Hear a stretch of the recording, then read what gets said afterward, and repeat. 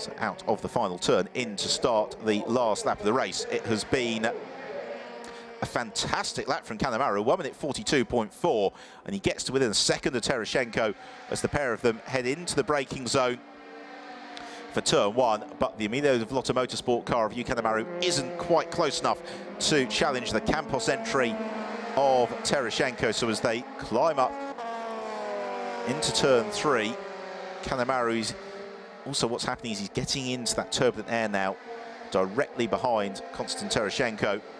That means that he's having to uh, probably experience a fair degree of understeer. But that fastest lap is very important because it really does make things very, very difficult for Konstantin Tereshchenko. So watching on from the pit wall, that was Emilio Villota Senior there, the former Williams Formula One driver, as they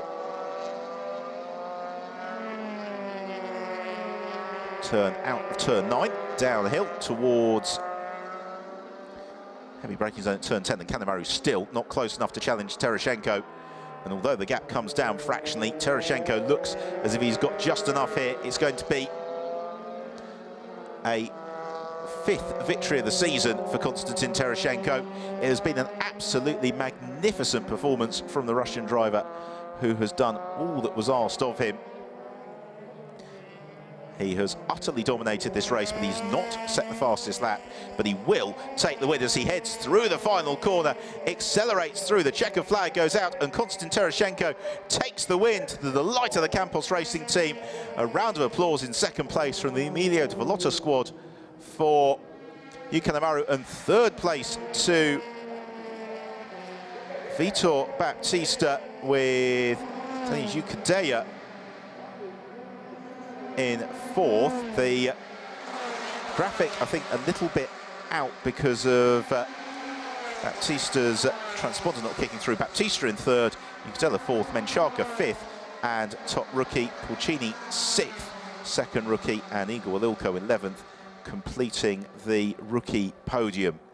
Now, in terms of the championship, this now starts to get incredibly complicated because Tereshchenko has won it and without drop scores is still very much mathematically in the hunt. The, the problem is once you start applying the impact of, of the dropped scores into the mix in the event of uh, retirements for tomorrow. So let's have a look then at the final results. So Tereshchenko wins it. Kanamaru in second place and fastest lap. Vitor Baptista in third. Danny Ukadea fourth. Diego Menchaca a great fifth. Top rookie from Leonardo Pulcini. Yaron Stern held on for seventh place, clear of Tanart Sathienthirakul. And Damiano Fioravanti and Ferdinand Habsburg completing the top 10 on his Euro Formula Open debut. Igor Walilko, the third rookie.